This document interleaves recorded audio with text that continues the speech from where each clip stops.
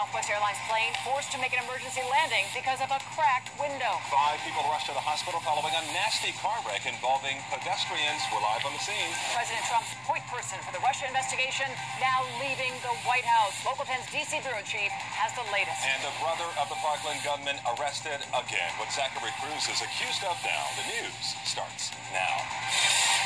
Live, the one and only Local 10 News starts right now.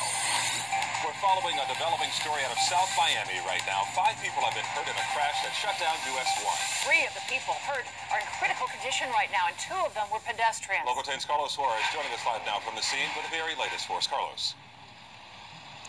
US 1 remains closed at this hour in both directions.